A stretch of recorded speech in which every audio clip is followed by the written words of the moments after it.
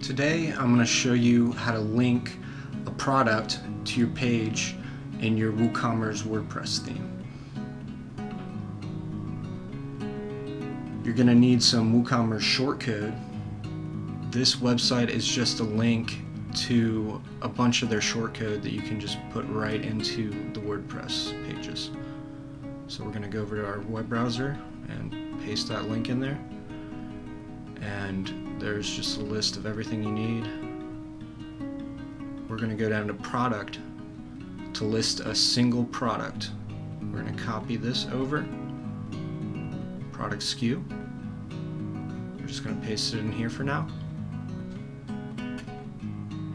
Gonna, if you want to list multiple products, you can go down a little further and you can copy this one, product SKUs. And let's paste that over there. Now we're done with this, we're going to go over to our WordPress and we're going to go down to pages. I've created a sample page just for this. Okay, so now that we're in the page, we're going to go back over and copy the shortcode and paste it right into the page. Now we're going to open our products and you can get the SKUs right here for the products or you can go in down to product data and this is where you put the SKU. The SKUs, you can have as many SKUs as you want, they just have to be different, they can't be the same.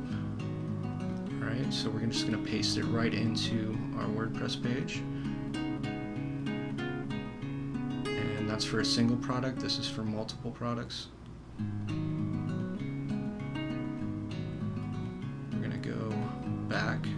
Products and get our second product so I can show you what multiple products looks like. Okay, so I'm just going to copy it from here this time.